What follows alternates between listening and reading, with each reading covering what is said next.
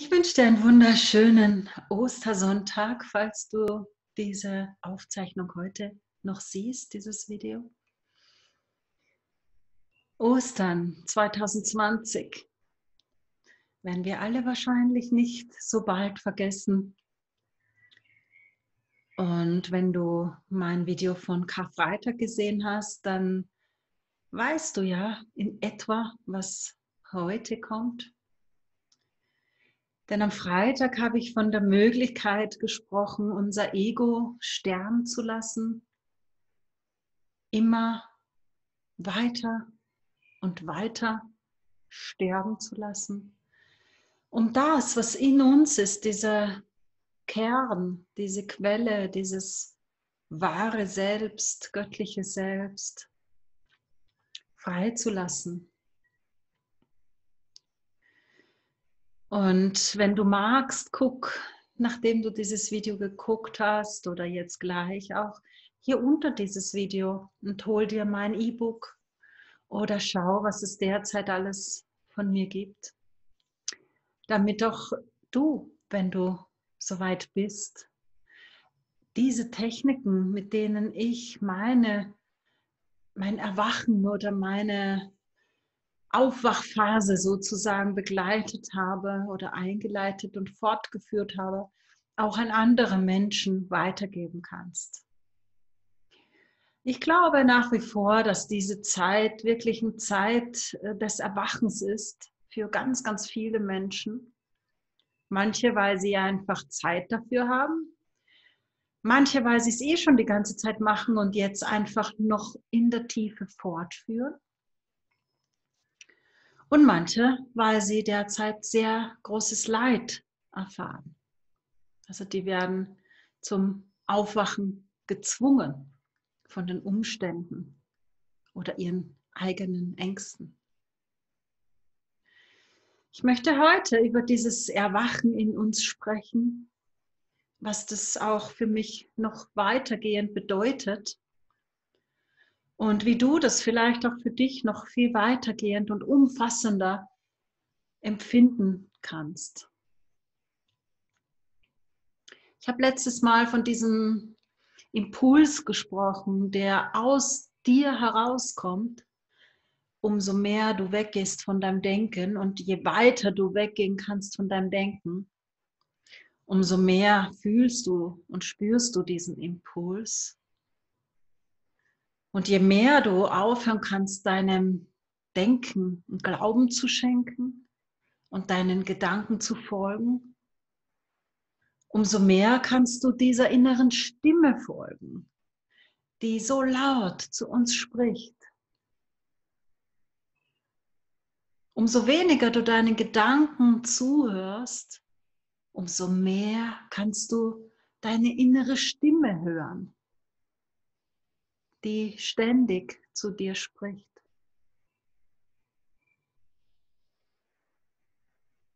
Ich habe heute diese Tulpen wieder hier stehen, weil ich gerne dir anhand dieser Tulpen eine Geschichte erzählen möchte, die für mich zu diesem Thema passt. Mir fällt auf, wie ich auch schon im letzten Video gesagt habe, dass derzeit die Gesellschaft sich so um zwei teilt. Ein Teil geht hier rüber, nach rechts, ohne jetzt die politische Seite zu meinen, geht hier rüber, Mainstream, und glaubt, was erzählt wird, hält sich daran fest, bekommt Ängste und erzählt das auch weiter, was hier auf dieser einen Seite proklamiert wird. Und sie glaubt immer mehr, was hier erzählt wird und haftet an diesen Gedanken an und bestätigt auch durch das eigene Denken dieses Denkmuster, das hier ausgegeben wird. Und die andere Seite geht auf die andere Seite die gegen diese Seite spricht und glaubt auch hier immer mehr und mehr, so sieht es zumindest für mich aus, was hier erzählt wird. Und ist gegen all das, was da drüben erzählt wird und bestätigt durch die eigenen Gedanken und durch die eigenen Erfahrungen, die dementsprechend interpretiert werden, das, was diese Seite hier sagt. Mir fällt auf, dass es sich wirklich immer mehr teilt und niemand, also mir fällt jetzt tatsächlich niemand ein, niemand sagt, davon kann ich das und jenes für mich nehmen und als wahr erkennen und davon kann ich dies und jenes nehmen und für mich als wahr erkennen. Also ich kenne niemanden, der sich von beiden Seiten sozusagen ähm, irgendwelche Fakten holt und sagt, ja, das kann beides wahr sein und das kann ich beides für mich finden. Es sieht fast so aus, als müsste man sich auf die eine oder andere Seite schlagen. Also so geht es zumindest mir. Und da weigere ich mich definitiv, weil äh, ich eben meine Gedanken überprüfe und weder die eine Seite als 100% wahr erkenne, noch die andere. Und was hat das jetzt mit diesen Tulpen zu tun? Diese Tulpen, ich nehme mal eine raus, Diese Tulpen symbolisieren für mich die Natur. Das ist für mich die Wahrheit. Diese wunderbare Natur, die seit so vielen Millionen Jahren sich immer wieder verändert und doch immer wieder auf ihre ureigenste Art und Weise ist. Ja, das ist einfach. Ja, wie wir das jetzt nennen, Tulpe, rot-gelbe Tulpe, was auch immer, das ist, eine, ist ein Namen, ja, wie ich auch in meinem letzten Video gesagt habe, das ist nicht die Wahrheit. Es ist nur der Name, ja. Aber dass das ist, gewachsen ist, sich öffnet und dann verblüht, dass das riecht, duftet, möchte ich fast sagen, wirklich wunderbar duftet und dass das mein Herz erfreut, das ist für mich die Realität. Und da muss ich jetzt keine Meinung haben. Also ich muss jetzt nicht sagen, das ist jetzt eine schöne Blume oder das ist jetzt eine Blume, die am Aufgehen ist und die wird in zwei Tagen eine verwelkte Blume sein. Ja, das muss ich alles nicht sagen. Das sind Bewertungen, das sind Gedanken. Aber ich kann sie einfach angucken als das, was sie ist, als ein Produkt der Natur, so wie ich auch und so wie du auch. Und ich kann ihren Duft bemerken und mich an ihrer Optik und an ihrem Duft erfreuen. Und ich kann ihren Stängel berühren und bemerken, wie sich das in meiner Hand anfühlt. Das ist für mich die Realität. Das ist für mich immer mehr eine Religion. Ja? Wenn ich mich entscheiden müsste, welche Religion glaube ich, dann würde ich sagen, ich glaube die Religion, die Natur heißt. Diese Religion da draußen, die gerade diesen Baum, der vor zwei Wochen noch braun war, plötzlich zu einem grünen Baum macht, der die Blätter sprießen lässt die jetzt gerade im Wind sich bewegen.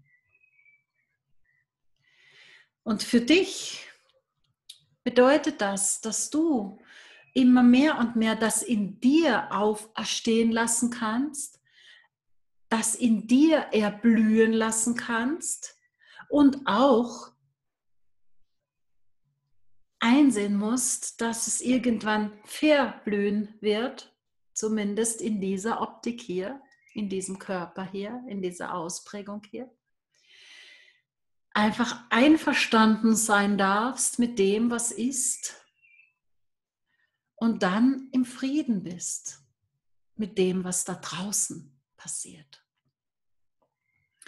Je mehr du das in dir einfach auferstehen lassen kannst und sein lassen kannst, leben lassen kannst, so wie es eben lebt, es sich ausdrücken lassen kannst, so wie es sich eben gerade ausdrückt und ausdrücken will, wenn du das zulassen kannst und umso mehr du es zulassen kannst, umso weniger musst du dich mit irgendwo hier rechts, Meinung etc., Zahlen, Daten, Fakten oder hier links oder hier hinten oder hier vorn mit irgendwas beschäftigen, sondern kannst mehr und mehr zu dir zurückkommen, zu deiner Wahrheit, zu dem, was du bist, was du einbringst in die Welt, was du ausdrücken möchtest hier in der Welt und das, was du einfach sein möchtest hier in dieser Welt, in diesem Leben. Wie lange es auch immer dauert. Niemand weiß das.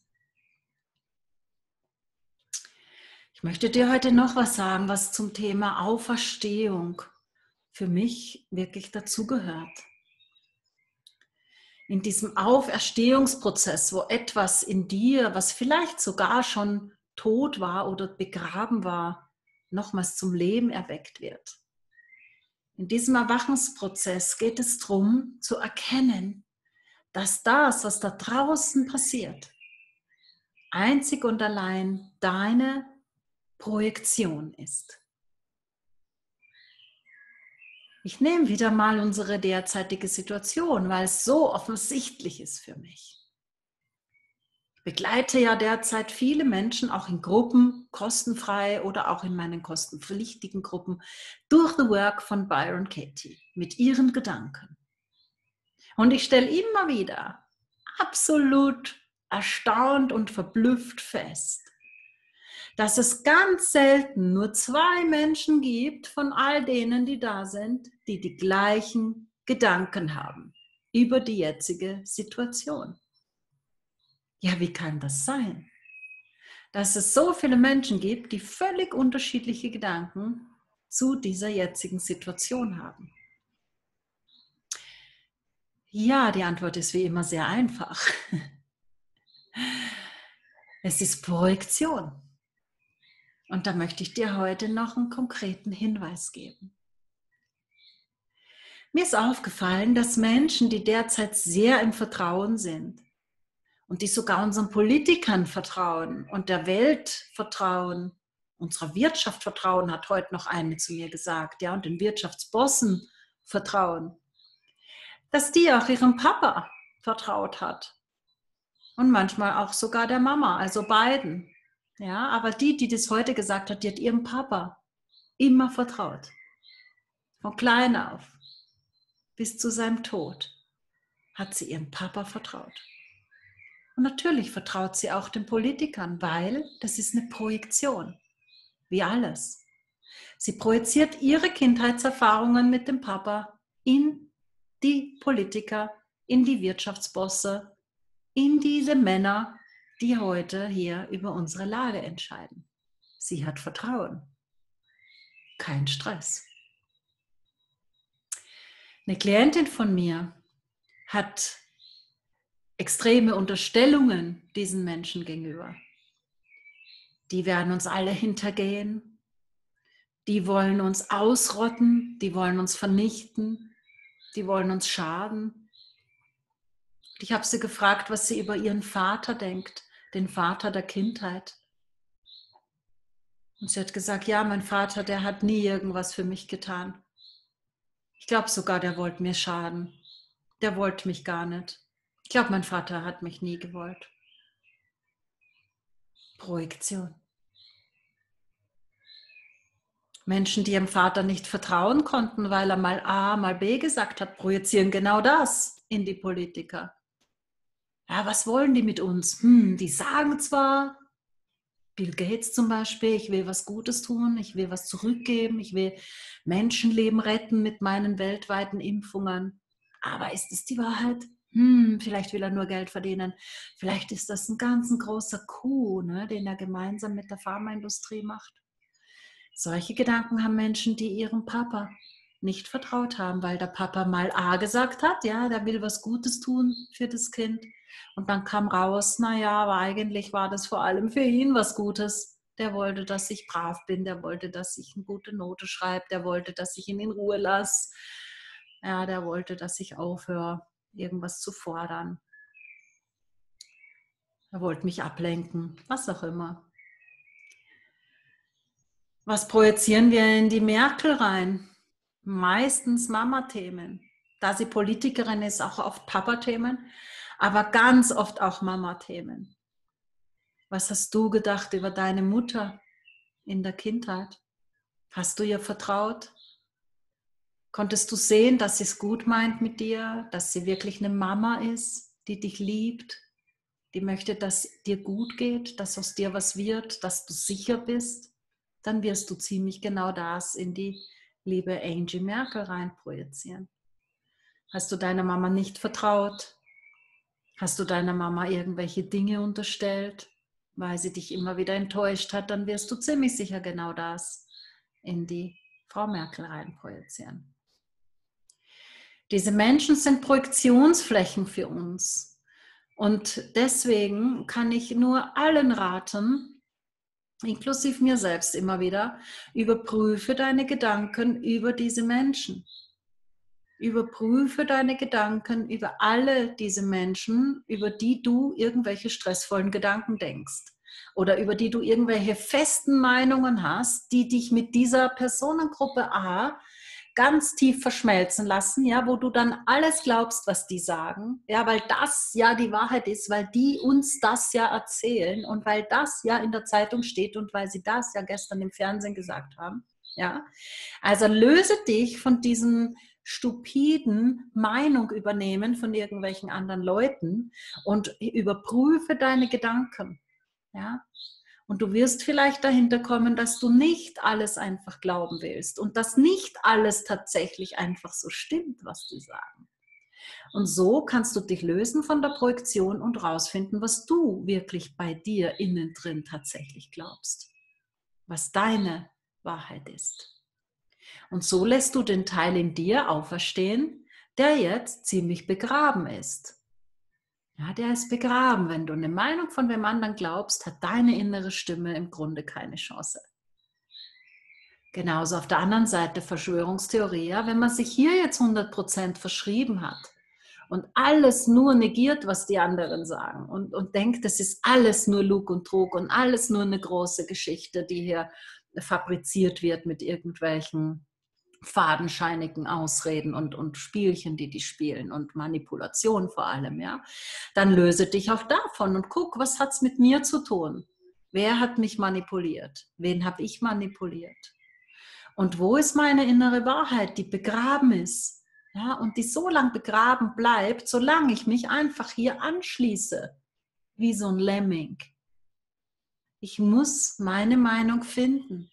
Und die kann ich nur finden, wenn ich meine Gedanken überprüfe, die angeblich wahr sind. Ich kann dir verraten, die sind nicht wahr. Niemals sind Gedanken wahr. Niemals sind Worte 100% wahr. Niemals sind irgendwelche Meinungen wahr. Kann gar nicht sein. Es ist niemals die absolute Wahrheit.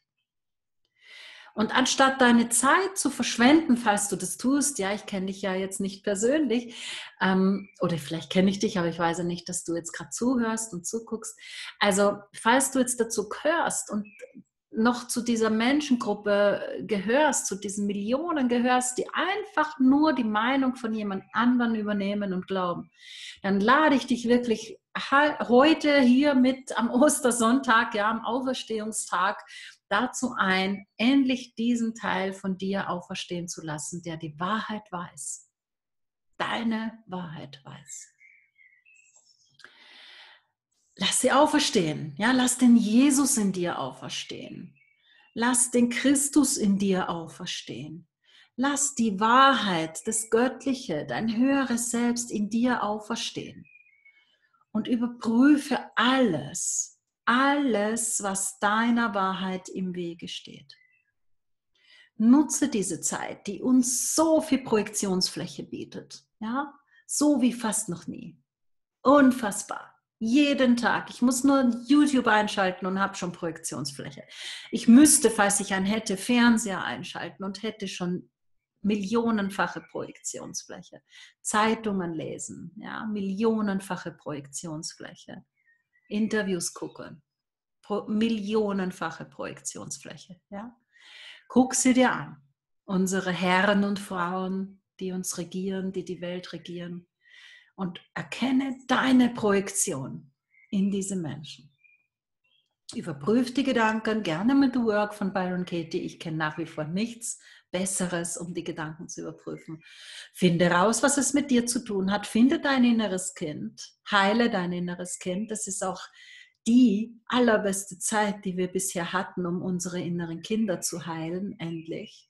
Ja, um unsere Ängste endlich wahrzunehmen, die seit Jahrzehnten in uns vergraben sind. Auch die dürfen auferstehen und gegen Himmel fahren, ja, demnächst. Also die dürfen aufgelöst werden, erlöst werden. Und diese Zeit kann dich zu der werden lassen, die du wirklich bist, die du immer schon warst. Hinter deinen Projektionen, unter deinen Projektionen und über deinen Projektionen. Wer bist du ohne deine Geschichten über das, was jetzt gerade angeblich passiert? Wunderschöne, frohe Ostern. Namaste. Namaste.